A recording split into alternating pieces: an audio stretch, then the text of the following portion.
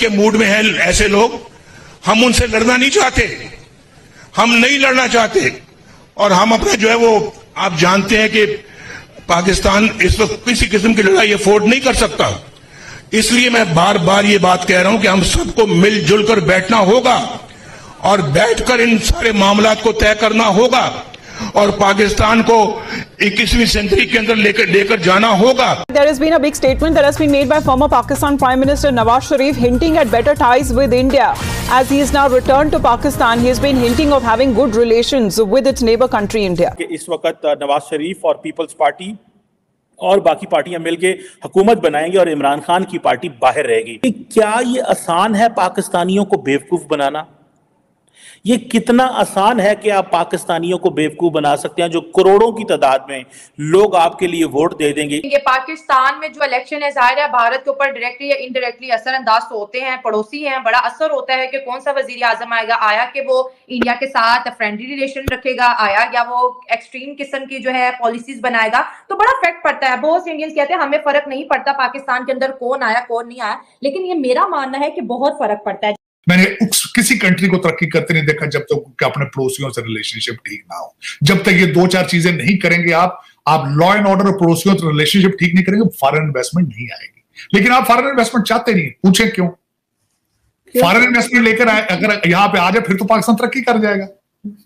आप तो चाहते ही नहीं आप तो सिर्फ़ आईएमएफ से पैसे लेके लंदन से पैसे लंदन ही अमेरिका के पैसे अमेरिका में रखना चाहते हैं। हाँ।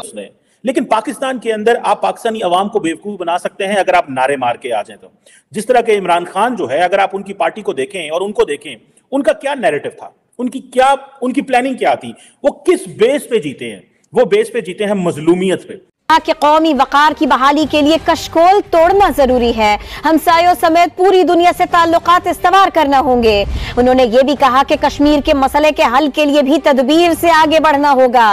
मैंने किसी कंट्री को तरक्की करते नहीं देखा जब तक तो अपने पड़ोसियों से रिलेशनशिप ठीक ना हो। जब तक ये दो चार चीज़ें नहीं करेंगे आप आप लॉ एंड ऑर्डर और पड़ोसियों से रिलेशनशिप ठीक नहीं करेंगे फॉरन इन्वेस्टमेंट नहीं आएगी। लेकिन आप फॉरन इन्वेस्टमेंट चाहते नहीं पूछे क्यों? फॉरेन इन्वेस्टमेंट लेकर आए अगर यहाँ पे आ जाए फिर तो पाकिस्तान तरक्की कर जाएगा। आप तो चाहते ही नहीं। आप तो सिर्फ़ आईएमएफ से पैसे लेके लंदन से पैसे लंदन ही अमेरिका के पैसे अमेरिका में रखना चाहते हैं। हाँ पच्चीस करोड़ लोग हैं। उनके खून पसीने से किस्तें देंगे। आपको तो सिर्फ़ उन्होंने किस्तें देने के लिए रखा हुआ है। अगर आप मुझे ये बताएँ मैं, मैं छोटा सा क्वेश्चन लास्ट। आप ईरान के साथ ट्रेड करें तरक्की हो जाएगी ना स्मगलिंग बंद हो जाएगी। लेकिन आप नहीं चाहते आप स्मगलिंग हम्म। चाहते हैं।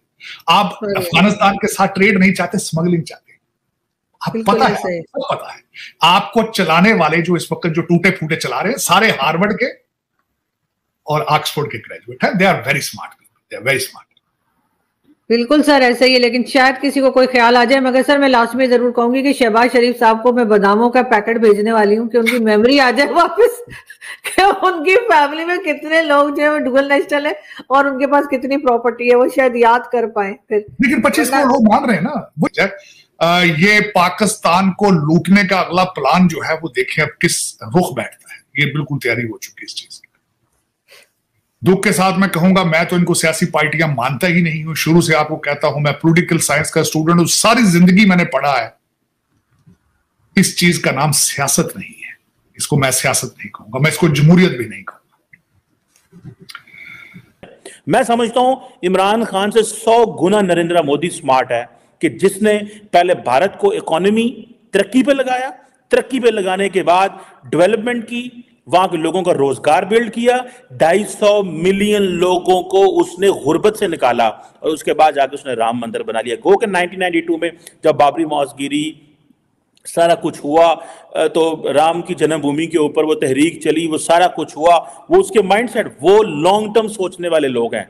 समझदार है नरेंद्र मोदी, कि जिसने आज से 1992 में उसकी पार्टी ने सोचा 2000 में उससे पहले उन्होंने उसको सीएम बनाया, उसने अपनी टर्म्स पूरी की, अपनी तीन टर्म्स पूरी करके उस वज़ीर आज़म बना, वज़ीर आज़म बन के मुल्क को एक डायरेक्शन पे लगाया, फिर उसने मजहबी एजेंडा दिया लेकिन पहले आप लोगों को किसी डायरेक्शन पे लगाते हैं। आप पहले ये नहीं करते कि पहले लोगों को आप नरेंद्र मोदी भी पॉपुलिस्ट है। ये नहीं कि नरेंद्र मोदी पॉपुलिस्ट नहीं है।